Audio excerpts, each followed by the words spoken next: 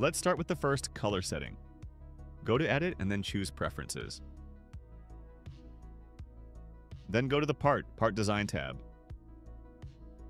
Select Shape Appearance. Here you can change the default color that every shape will have after creating. You can also let FreeCAD choose, check the random box for this. Click on OK and create a new sketch. Select the XY plane to sketch on.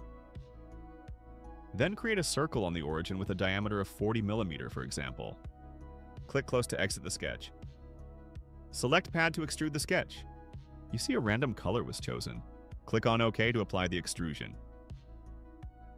Select the pad and press delete to remove it. Click on the sketch and create a new extrusion. The color is still the same. Click on cancel to abort the extrusion. Select the body and press delete to remove it. Now create the same sketch again in a new body.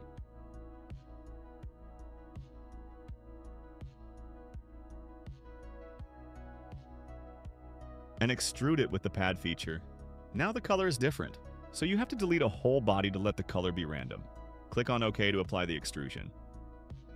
Let's move on to some other color settings.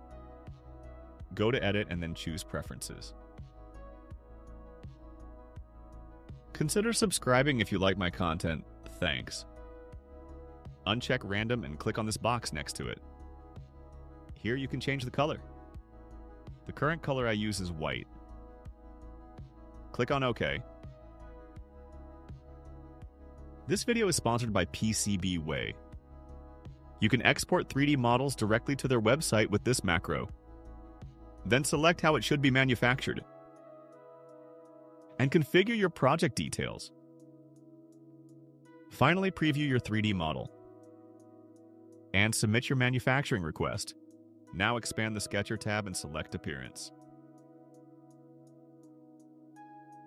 Here you see the working colors.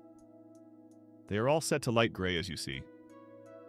This ensures that the sketch lines remain visible on a white object. These two are also set to the same gray.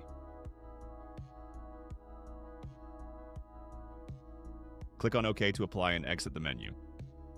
Delete the body again and create a new sketch. Draw the same circle and extrude it.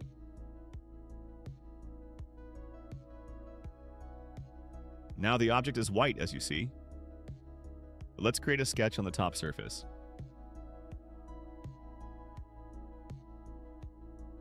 Then exit it.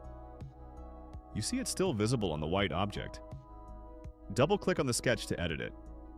Here you see it's also visible. So these were some color settings that might come in handy for you.